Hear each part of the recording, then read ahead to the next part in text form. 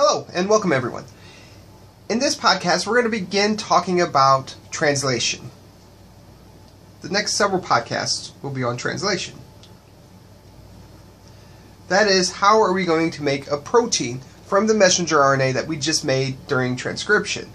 We touched on a concept in when we were talking about transcription, this idea of one gene equals one enzyme.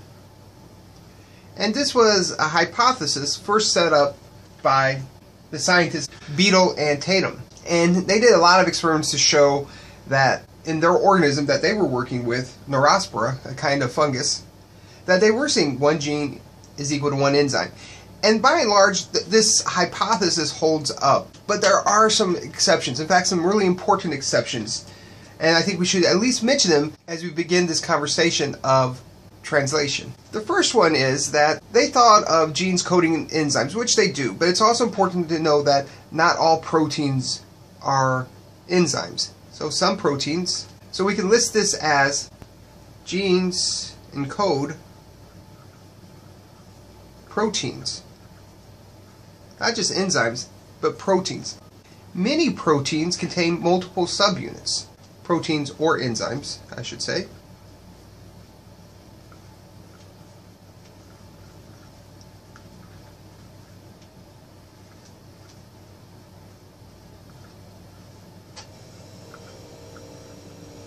So for instance, the protein hemoglobin has four subunits.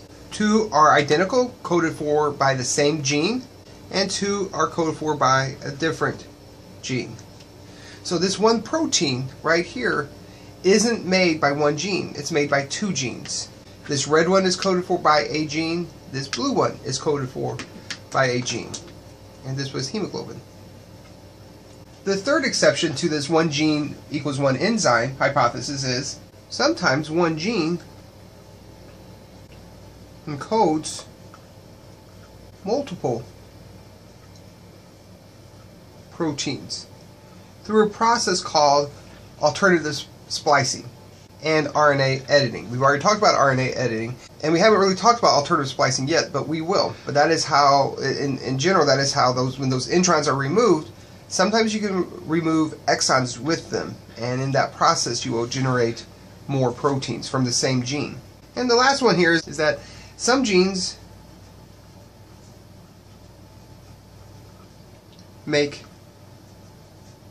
RNA as their final product.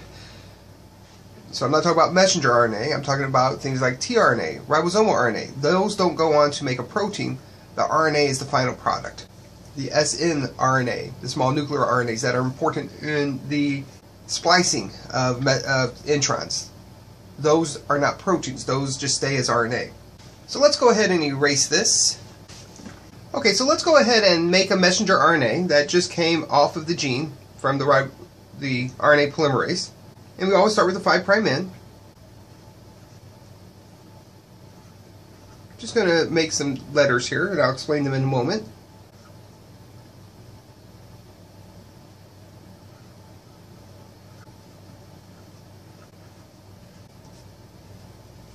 We know that each of these are a codon and that each of these will make an amino acid.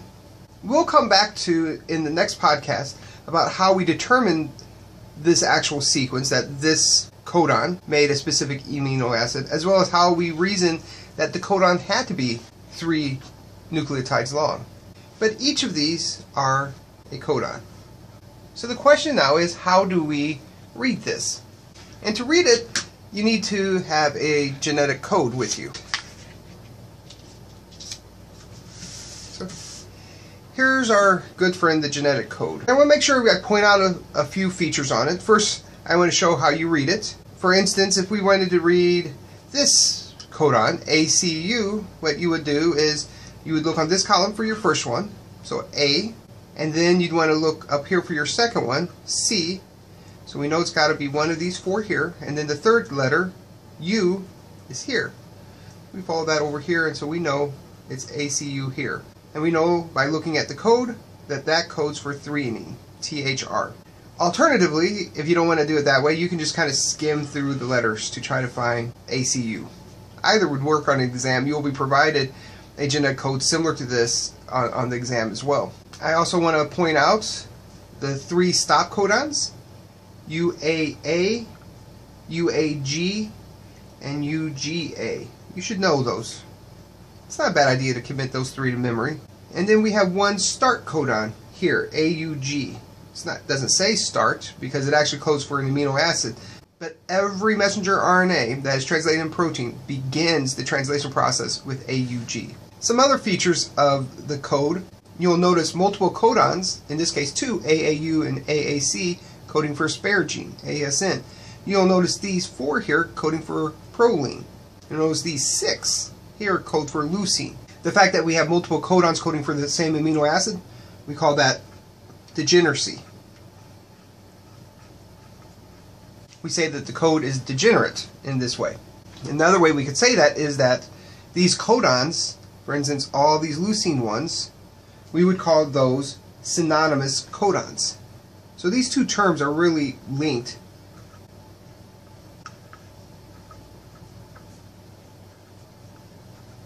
synonymous for the same and codon. So the, the codons themselves look different, but they code for the same amino acid. Another term we should define is wobble. So wobble explains these two terms here. The reason we have a degenerate code and the reason that synonymous codons can code for the same amino acids is because of the wobble effect. And we'll come back to this in a little bit when we talk about the tRNA binding to the messenger RNA. But if you notice, most of the time when we have multiple codons coding for the same amino acid, it's that third position that changes. So if you look at proline here, as long as the first two are CCs, cytosine cytosines, it doesn't matter what that third codon is. It's always going to make proline. Same thing with arginine.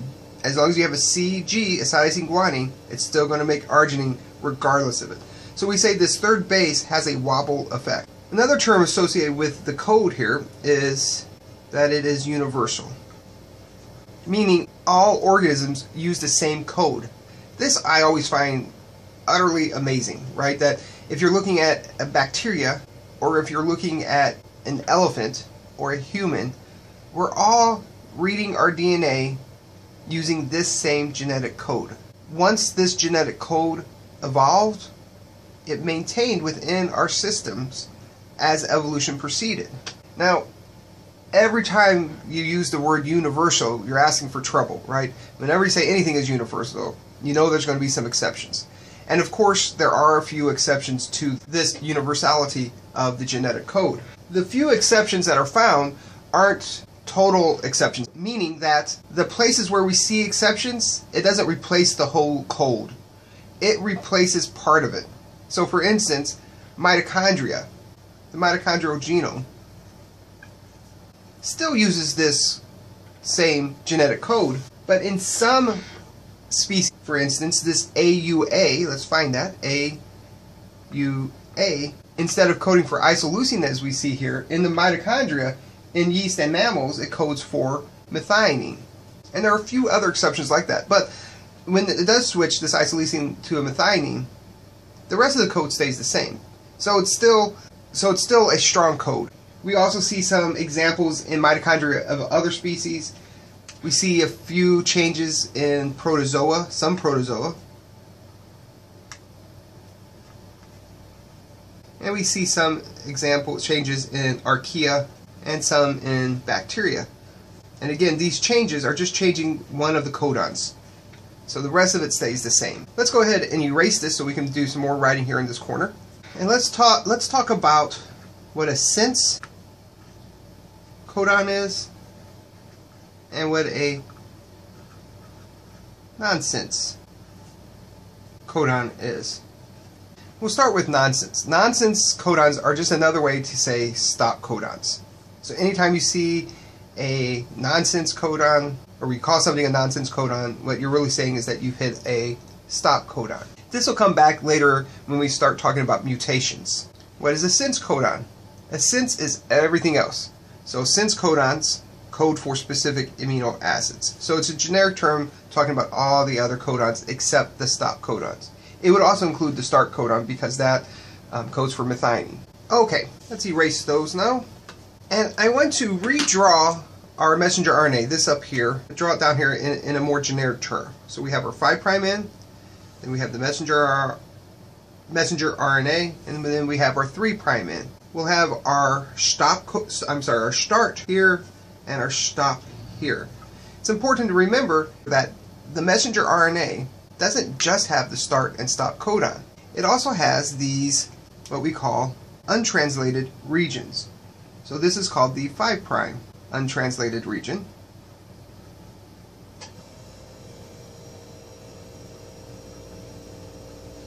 And this over here is the 3' untranslated region. I don't have room to write untranslated region, but this is the 3' untranslated region. Now remember that these regions here are serve certain functions, but they do not make amino acids. And you will have several base pairs up above the start. And you'll have several downstream of the stop. So what might the purpose of these re regions be? Well, in bacteria, they help the, the 5' untranslated region is where the ribosome binds. And we'll talk more about that later. And though it's a little bit more complex, in, in eukaryotes, this is also the site where that pre-initiation complex will bind to recruit the ribosome um, to initiate trans translation as well. And the 3' region is really important as well, and we could probably spend weeks talking about it. I know that sounds incredibly exciting, but it plays a very important role in gene expression. And it does this by affecting this messenger RNA's ability to leave the nucleus, the stability of this messenger RNA. Remember, this is where our poly A tail is going to be. It also contains elements in it, sequences in it, that allow it to be regulated by a class of other RNAs called microRNAs that we briefly talked about before. So both of these regions are important in making sure that this part here, this middle part, the reading frame, is actually translated into a protein. Okay, I'm going to erase this, this corner again. Now let's talk about how we're actually going to make a protein from this. And we'll go into more detail towards the, one of the later translation podcasts. But know that a tRNA is going to bind to each of these codons. And let's just, since we have a little bit of room here, let's pick CGU. A tRNA will bind something like this. And we'll talk about the structure of a tRNA in a little bit. We have this tRNA molecule, and it's going to recognize this codon. And as it recognizes this codon, it brings in a specific amino acid that matches this codon. So I'm going to redraw that down here where we have just a little bit more room to work with. So I'm just going to write the messenger RNA, CGU, and then we have the other sequences. Remember, this is our 3' and this is our 5'. The tRNA, when it binds, let's go ahead and draw it again here.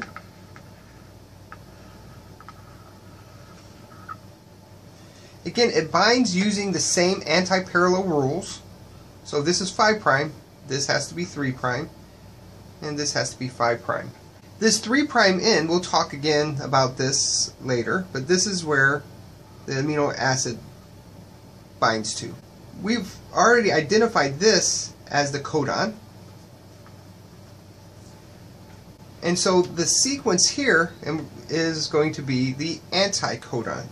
I'm going to draw that, or write that over here, anticodon and we're going to follow the same base pair complementary rules, the Chargaff rules, when we do this. So C is going to be a G, G will bind to a C, and U will bind to an A.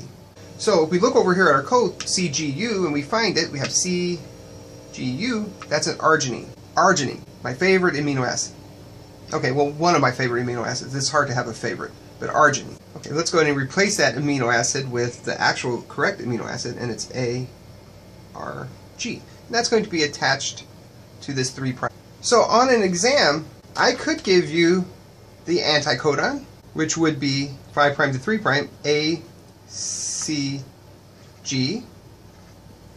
Or I could give you the codon, which would be, again, 5 prime to 3 prime, C, G, U.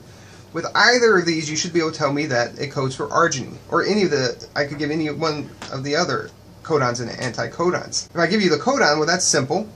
You just use the code. But if I give you this one, you must know to first convert it back to the messenger RNA in its 5' to 3' direction and then use the code. I love to ask this question on an exam. Maybe not with arginine, but with something else. Now let's start making this protein. And what you want to do is, remember, in this 5' untranslated region, there could be hundreds of base pairs present before you start translating. And so the key is to go through all those base pairs until you find your first AUG. I made this one fairly simple because I don't have a lot of room here, but it's our, our it starts here at the fourth position. Now, there's nothing to say that the bases before this have to be in three base pair codons. This could be 11 bases or it could be 17 bases. It doesn't have to be in multiples of three. You'll go through that region until you find your first AUG, and here it is, AUG. And that's where we're going to begin translation. This defines our reading frame. Now we can now if you want to practice this on your own, you can hit pause and then complete it on your own and then hit play and see if you are correct. Alright, as we begin to translate this, we have to point out one important rule, and that is all um, protein sequences begin with an amino group. We'll explain why in a little bit. We begin with this amino group. Then we look at our code, AUG, that codes for methionine. So let's write methionine. And then UUU codes for phenylalanine. Then CAU, CAU codes for histidine. I'm out of room here, so I'm going to have to wrap it around here. And then ACU, ACU makes threonine, one of my least favorite amino acids. CGU then codes for our good friend arginine. And then UAA. And you'll see UAA is one of our three stop codons. Now, never, never do what I'm about to show you here because A, you'll make me sad, and I don't like to be sad, and you'll lose points. Never write the word stop.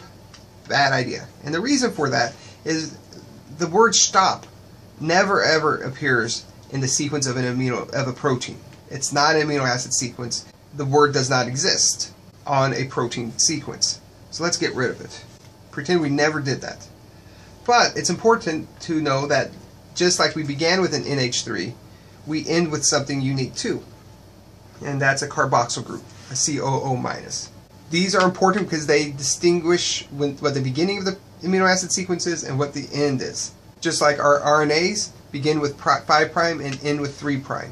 One other point to make out here, I didn't have room to show it, but remember there's going to be a lot of extra sequences here in that 3' untranslated region. But we stop at the stop and we don't write, write the word stop. If you had this on an exam and you wrote just this, like this, you get full credit. On an exam, it's very common for me to give you one of the DNA strands first and then have you come up with a protein sequence to work, so, to, so you have to work through all the different stages. Now once this protein is made, it has to fold in different structures. And let's talk about that real quick on this podcast before we um, close it. The first structure of proteins we should mention is the primary. Sometimes we'll call this like so. This is the linear sequence of the protein. So you'll have your NH3, then you'll have a string of amino acids, met, his, glutam uh, glutamic acid, arginine, and then and then your carboxyl group. This is the primary sequence. It is defined or held together, I should say, by these bonds, and these are called peptide bonds. Peptide bonds. The primary structure is non-functional.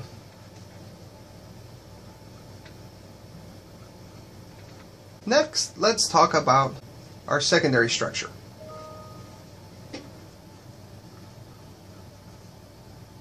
And we'll often just call it like that.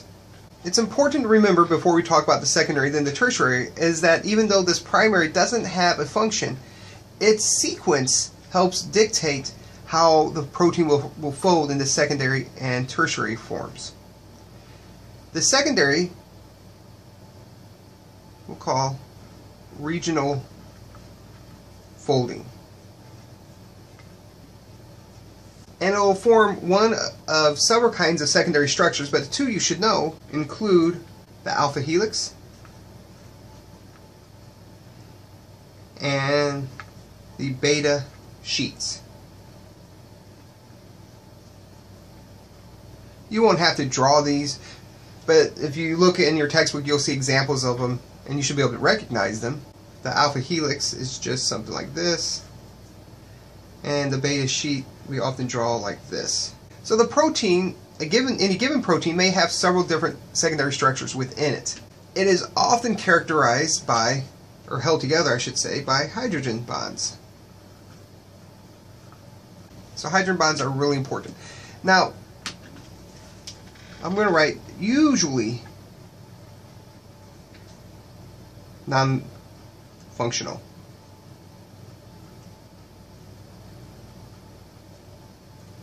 Say usually because certain proteins in a secondary structure have a function. And the, the, most important one that you should probably know are the prions. If you've heard of prion diseases, these are like the mad cow disease or chronic wasting disease in deer that sometimes we'll, we'll see in Michigan. These proteins don't fold beyond the secondary. They only fold by the into, into the secondary structure. And they're infectious. One of the few agents that are infectious that are just a protein, not a virus or anything like that, just a protein. Okay, let's talk about the tertiary structure next. And I'm going to erase some of this here just to give me some room. The tertiary structure, sometimes written like that, this is the fully folded protein. It is certainly functional. And you've seen me before when I write a protein structure, I'll usually draw it as this kind of mass here. And that's usually what happens. They fold upon themselves. The secondary structure still pretty much, when you look at it, looks like a linear array of, of sequences, though there is some local folding. This looks like a, a glob of amino acids, but a very functional glob of amino acids. It is primarily characterized by hydrophobic forces. And we want to come back to this when I have a little bit more room to write on the board. But, but uh, we'll, we'll definitely come back to it because it's one of the most important features of a, of a protein's function. Okay, and then the last one we want to talk about are the quaternary structures.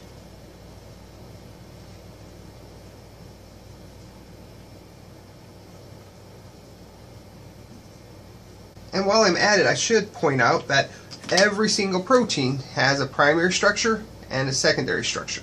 Almost all proteins have a tertiary structure. The notable exceptions would be the prions. However, not all proteins have a quaternary structure. And I'm running out of room here, but let's draw the hemoglobin molecule we drew before, where we had the two alpha subunits here, and then the two beta subunits here. So a quaternary protein is composed of multiple subunits, often coded for by different genes. They are then held together to give that protein function. For instance, the hemoglobin, any one of these subunits by themselves, is not functional. These are often characterized by ionic bonds, hydrogen bonds, um, I'll write it here, we call these di sulfide bonds. There can be some hydrophobic interactions as well. So a lot of things can hold these quaternary structures together. Not, not covalent bonds, but they're more weaker associations. Van der Waals would, would um, fit in here as well. Now I want to come back to hydrophobic forces, but I need to erase all this first. It's important to note that every single amino acid looks has a has a similar structure. We have an amino group here, we have a carbon here, and then we have a carboxyl group at the end. We also have a hydrogen here. Now what makes an amino acid different from another amino acid is what we call this R group. This is the functional group. Now this R group makes that amino acid fall into one of a few categories. That R group could make an amino acid nonpolar. It could make it polar. It could make it aromatic, meaning it has a ring structure to it. These polar amino acids could either be neutral, like I wrote here, or I'm writing here. They could also be polar acidic, which means they have a negative charge on them. They could also be polar and they're basic, meaning they have a positive amino a positive charge on them. And your book mentions some of these of these non-standard amino acids, but we're not going to worry about those. It's important for you to know that these five groups of amino acids exist. You don't need to know which amino acids fall into these categories. I suspect you'll learn that in biochemistry if you take biochemistry. But for now, you should know that these five exist. You should also know where they would be at in a protein, particularly a folded up protein. So we'll draw one in its tertiary structure. In this tertiary structure, remember there I, I mentioned that term hydrophobic forces. Nonpolar we can also think of as being hydrophobic. We can think of the polar ones over here as being hydrophilic. So our hydrophobic ones are going to be in the middle of that protein. They're trying to, for lack of a better way of saying it, move away from the water. They're avoiding that water. So they're going to be in the middle. So I'm going to put a 1 here in the middle of the protein, not exposed to the outside of the protein. I put a 1 there because that matches up over here. On the outside of the protein, that's where we're going to find on the outside of the protein, that's where we're going to find our polar amino acids, particularly our acidic and basic ones. So I'm going to put fours around here. And that's because they need to interact with water and other molecules. For instance, when it forms a, a quaternary structure, these polar amino acids may be what is linking the two um, subunits together.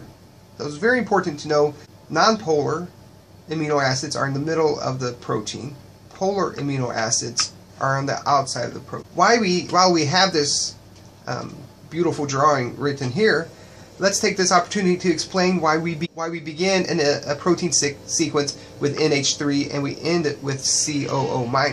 As this amino acid chain is growing, they're added to this COO end. So the next amino acid that is attached here binds here. And you keep doing this till you get the end, and when you add that last amino acid, to this protein sequence, it's always going to have that COO at the end, the carboxyl group at the end. We don't add to this end, so this is always going to be at the beginning of a protein. Okay, this was a particularly longer podcast, but I think all this kind of tied nicely together, so I didn't want to break it up. But I think we are done with it. So let's close with a quick summary. You should know the various features of the genetic code. We talked about several things. We talked about what the nonsense codons were, what the sense codons were. We talked about the, the three nonsense codons, also called stop codons. We talked about the start codon. We talked about some features of the genetic code. We talked about it being universal. We talked about it being degenerate. We talked about it coding for synonymous amino acids. We talked about a few exceptions, and mo most of those exceptions were found in, in specific mitochondria, as well as protozoa and some archaea and bacteria. But you should also appreciate that the code is by and large, very universal. We also talked about how that wobble effect allows the code to be degenerate. Next, we talked about reading the messenger RNA to make a protein. And remember that we had this long nucleotide sequence and we had to get past those five, that 5' untranslated region. You should also know why that's important. And then we looked for that very first AUG. And once we found that AUG, we started plugging in amino acids until we got to one of the three stop codons. Once we got there, we ended that sequence with a COO minus, a carboxyl group. And again, remember the front of it is an, an amino group.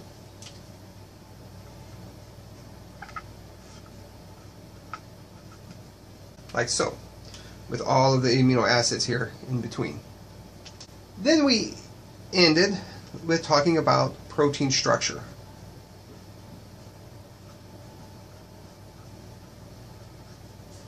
Talk about the four different forms primary, secondary, tertiary, and quaternary. You should know which ones exist in all proteins or almost all proteins. You should know which kinds of chemical bonds characterize that particular uh, level of protein folding. And then you should know the basic structure of an amino acid that we talked about very end. So we'll say the last thing here, amino acid classification. That is what may that, that is that amino acids are either polar, nonpolar, aromatic, or polar neutral. And that these characteristics allow that protein to fold in a proper way where we have charges on the outside of the protein and hydrophobic or, or nonpolar amino acids on the inside of that protein. Well, that ends this podcast. If you have any questions at all, please make sure you come talk to me.